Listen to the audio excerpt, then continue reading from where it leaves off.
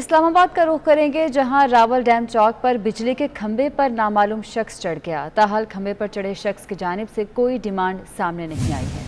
Police की नफरी Rawal dam चौक पर पहुँच गई है और इस शख्स को नीचे उतारने की कोशिश की जा रही है। आपको बताएँ कि इस्लामाबाद के रावल डैम चौक पर बिजली के खंबे पर नामालूम शख्स चढ़ गया है। इसी पर बात करेंगे। उस्मान जावेद हमारे साथ मौजूद हैं।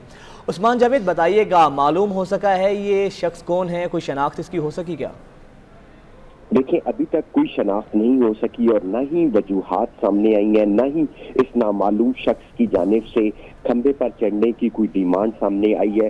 पुलिस की भारी नफरी इस वक्त मौजूद है और ये वाक्य जो है, ये रावल डैम चौक इस्लामाबाद में ये हाई हैवी ट्रांसमिशन वायर है और यहाँ पर आप देख सकते हैं कि नामालूम शख्स इस बिजली के खंबे के टॉप के ऊपर चढ़ा हुआ है। कोई पुलिस से अभी तक उसने गुफ्तगु नहीं की और ना ही डिमांड की है।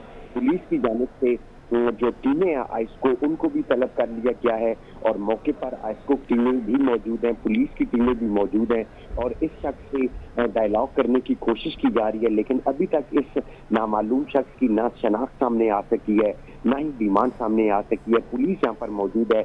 एंबुलेंस को भी यहाँ पर तलब कर लिया गया है और दीगर इमदादी इदारों को भी जाए वकूआ पर तलब कर लिया है और पुलिस की जानब से इससे डायलॉग करने की कोशिश की जा रही है और इसकी डिमांड जो है वो भी पूछने की कोशिश की जा रही है ताकि इनकी डिमांड पूछ के फिर अगला लाए अमल अपनाया जाए। पुलिस के हवाले से कहना है कि जब तक इसकी डिमांड सामने नहीं आती उस वक्त तक कुछ ठीक है। बहुत शुक्रिया उस्मान जावेद आपका।